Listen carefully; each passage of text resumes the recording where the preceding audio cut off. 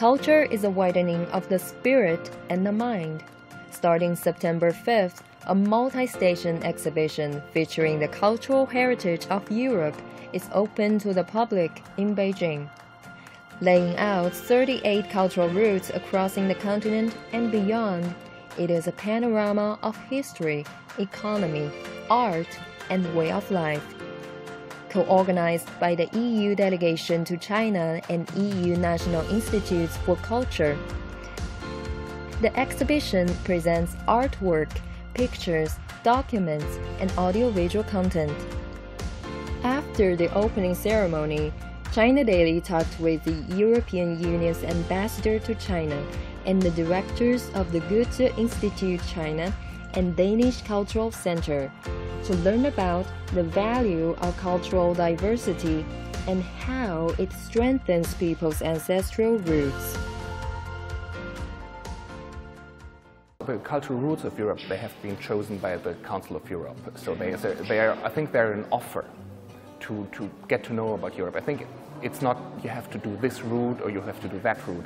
But if you want to go to Europe and if you want to explore Europe, uh, these might give you a first guide.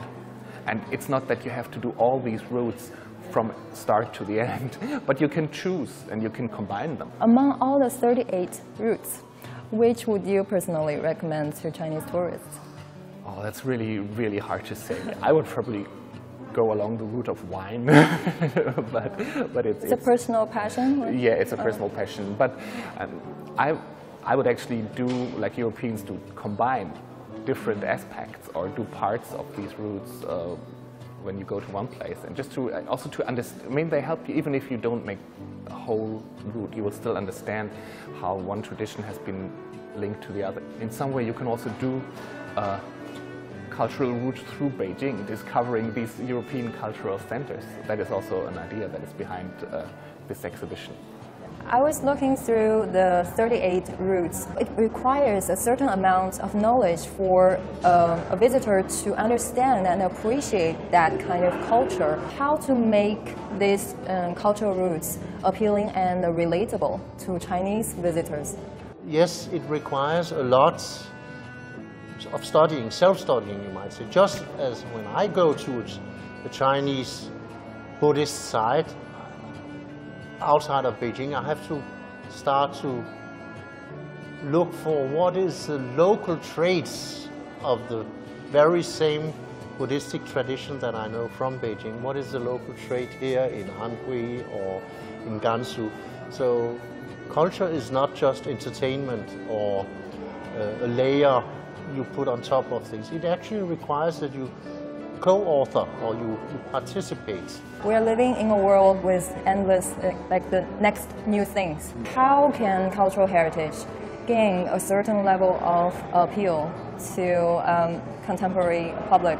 I think uh, one of the fundamental differences between the European approach to cultural heritage and the Chinese is the way that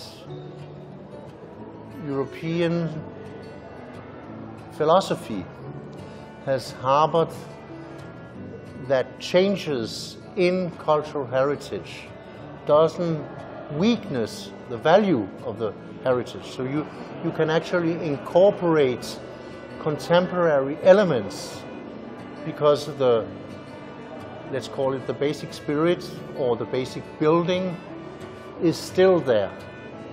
And that's the one we cherish, but we also cherish that you can read history in it and say, oh, this is 1,000 years old, but oh, this is 500 years, this is 50 years. But you, you have it, so it's, it's this linear reading of history, which I think is uh, something important. And I think if we can introduce this perception or this optic to young generations, they, they will also start to see themselves as part of that cultural tradition and heritage. China is now uh, attaching great importance on protecting cultural heritage. And actually, the first cultural route of Europe dates back to 1987. So after decades of experiment and development, what are the valuable lessons you think uh, you can share with Chinese cultural institutions on heritage promotion and preservation? So the lessons is that I think my the way I see it is that heritage is part of history. One should never forget history. And the more money the governments across the world can allocate to protection of the heritage is a very good thing. And in fact, in China, a lot of beautiful sites, uh, Mingshan Guti, uh, in fact are not original sites. They had been destroyed many times in history, but they have always been rebuilt. And that shows how much the Chinese are, I think, attached to the heritage. It doesn't really matter whether it is the original, you know. I was uh, last uh, uh, December, I went to Wuhan. It was just before the pandemic. And uh, a Chinese friend of mine had invited me to visit Chibi. Uh, and, uh, you know, as I was learning Chinese uh, 50 years ago, 40 years ago, for me it was a magical sight, you know, the Red Cliff where Cao Cao and, uh, failed, you know, uh, in his battle. And, uh, and so I was, you know, preparing myself to, uh, with Su Dongpo writing, to look at Chibi. But today Chibi is inland. it's not at all on the river.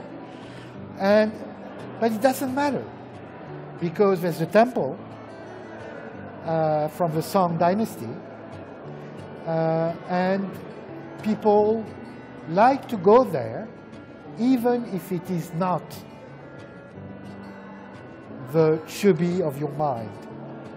You recreate it. So I think it is important that uh, local governments and national governments take care about these historical sites. Yes. And in your opening speech, you mentioned the unique tie between education and also travel. So do you think it's something deeply rooted in both European and Chinese cultures? Oh, yes. I think it is uh, in both cultures, European and Chinese, the place where you are born, Guxiang, is extremely important because it makes you what you are. But to become an adult, a world citizen, you need to go out from your the place where you were born. You need to go elsewhere. Tasha. And the question, of course, of travel is a, is a question of discovery of what you are. How do you adapt to new places? What kind of dialogue would you have with people that are different? Confucius, Kongzi, left his Guxiang in the country of Lu and went from state to state to try to propagate his ideas. And when he was doing that, he discovered what he was himself. So there is no growth. In Chinese, you would say, xiaoyang or shenyang. There's no personal growth without travel. And in a globalized world, it's even more important. People say, you know, all the time, especially in China, you know, uh, sovereignty. We are China, the China dream. But what is important, apart from that, is China and the world. And so all the Chinese who travel today to Europe, to the Americas, to Asia, they are on a path of discovery. And they understand that when they are abroad, away, Asia, elsewhere, that's where they discover that they are not only from Xi'an, Beijing, or Tianjin, they are from China.